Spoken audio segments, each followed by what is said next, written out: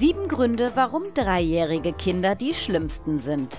Egal ob Neugeboren, Krabbelkind oder Laufstarter, Eltern empfinden das Hier und Jetzt und die aktuelle Entwicklungsphase ihres Kindes immer als die anstrengendste. Doch eine toppt sie alle, auch rückblickend.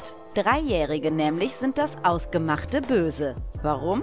Erstens, sie haben ihren Willen und dieser wird mit allen ihnen zur Verfügung stehenden Mitteln durchgesetzt. Wutanfälle sind an der Tagesordnung.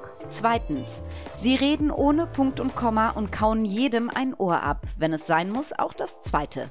Drittens, alles muss immer sofort passieren. Geduld kennen sie nicht.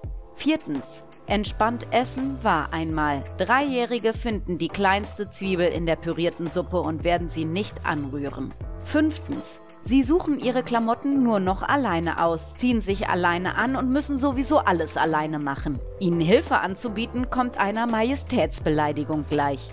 Sechstens. Sie wissen genau, wie Mama und Papa funktionieren und wie man sie gegeneinander ausspielen kann. Siebtens. Dreijährige sind nach eigener Auskunft nie müde, im Gegensatz zu ihren Eltern.